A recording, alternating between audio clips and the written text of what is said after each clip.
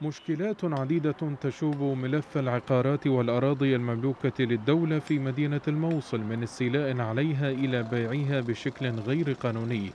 تتهم فيها جمعيات حكومية تدعمها أحزاب وميليشيات حيث تقوم هذه الجمعيات بتحويل أراضي الدولة إلى أراض سكنية وبيعها إلى المواطنين.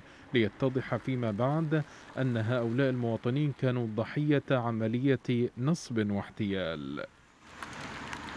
هذه الجمعيات معظمها تدعي بأنها آه، مدعومة من قبل بعض الأحزاب السياسية وخاصة التي تمتلك سلاح.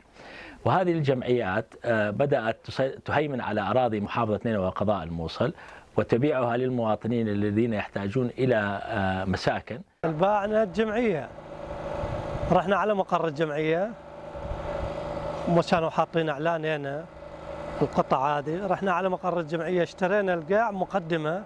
دفعنا المقدمة وبالشهر قسط من جانبها أعلنت مديرية تحقيق نينوى ضبط 18 من موظفي جمعية إسكان منتسبي تربية نينوى بعد قيامهم ببيع أراض زراعية مملوكة للدولة إلى المواطنين مع ضبط سندات وعقود بيع وشراء للأراضي التي قام المتهمون بتقطيعها وبيعها لقاء مبالغ مالية خلافا للقانون.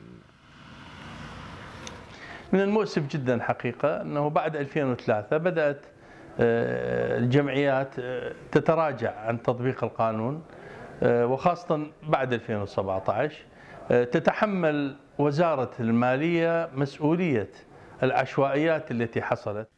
تجاوزات على أملاك الدولة تأتي في ظل سيطرة ما توصف بالمكاتب الاقتصادية التابعة للأحزاب والميليشيات. كل هذا يظهر حجم تعقيدات هذا الملف والصعوبات التي يمكن أن تواجه أصحاب العقارات من المواطنين في الموصل بإثبات حقوقهم بعد بذلهم الغالي والنفيس في امتلاك هذه الأراضي.